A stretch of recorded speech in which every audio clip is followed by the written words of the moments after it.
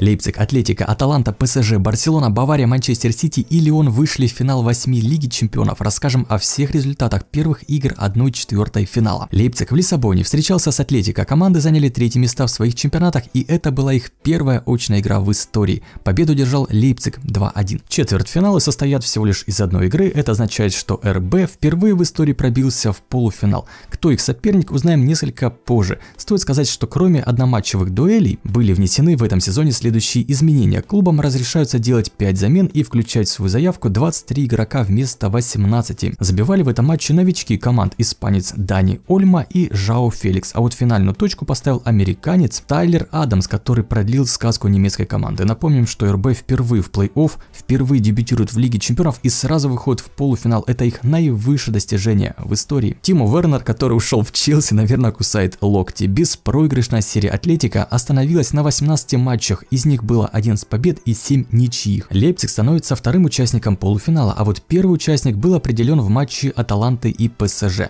Парижане до этого 6 раз играли в Лиге Чемпионов с итальянцами, 4 раза уступали и дважды играли в ничью. Побед не было, и вот седьмой раз стал успешным 2-1. Клуб из столицы Франции второй раз в истории вышел в полуфинал и установил любопытное достижение. Последний раз команда сыграла здесь в 1996 году, 25 лет тому назад. Прежний рекорд между выходами в полуфинал принадлежал Аяксу 22 года. Стоит сказать, что одноматчевое противостояние чуть не сыграло злую шутку с Парижем. Клуб забил дважды лишь в конце игры в течение трех минут. Реакцию Томаса Тухеля мы все прекрасно видели. Странно, сколько камбэков случается в Лиге Чемпионов за последнее время. Главные звезды Неймар и Мбаппе не забивали, зато отдали по одной голевой передаче. У ПСЖ становится серия из 11 побед подряд во всех турнирах. 14 августа игры финала 8 продолжатся. Барселона сыграет с Баварией, на следующий день в субботу Манчестер Сити станет условным хозяином поля в матче с Лионом. Три команды из четырех еще не потерпели ни одного поражения. Это мюнхенцы, это каталонцы и это манчестерцы. На очереди в нашем обзоре список лучших бомбардиров и лучших ассистентов.